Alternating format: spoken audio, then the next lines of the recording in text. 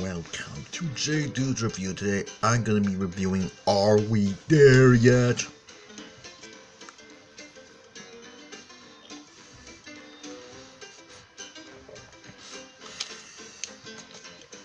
This makes Mr. Nanny look like Citizen Kane.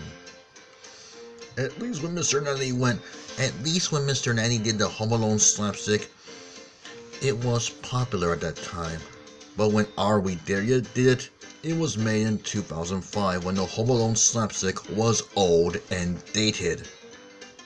They also ruined Ice Cube. He used to be the bad boy of the NWA rapping group, now turn him into a slapstick goof in this film. The acting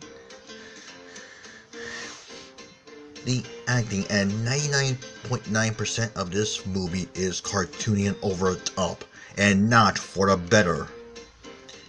It might have been passable in the 1980s or even the 1990s, but that shit isn't gonna fly in the 2000s or even the 2010s for that matter.